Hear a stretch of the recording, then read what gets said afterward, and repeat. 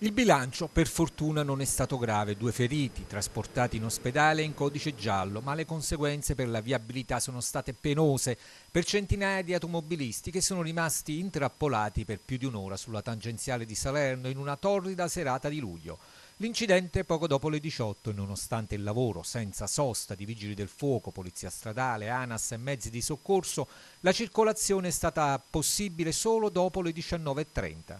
Subito trasportati in ospedali feriti e rimosse le auto coinvolte, le difficoltà maggiori sono state quelle di rimuovere il pesante mezzo che aveva occupato di traverso l'intera carreggiata della tangenziale. L'incidente in direzione nord a poche centinaia di metri dallo svincolo di Ponte Cagnano.